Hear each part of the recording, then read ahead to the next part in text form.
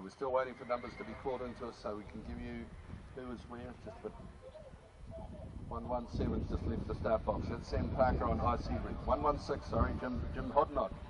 Well, he's been around for a while as Jim. He is one of the senior citizens, Jim Jimmy Hoddinott 116.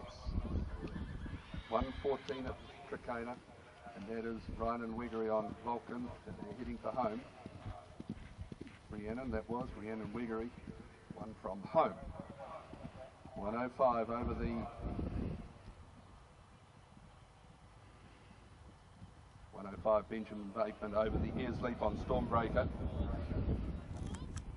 15A is good for Benjamin, 15B is good for Benjamin.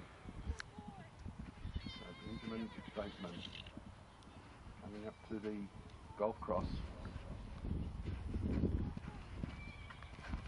Jimmy Hoddinott having a good ride.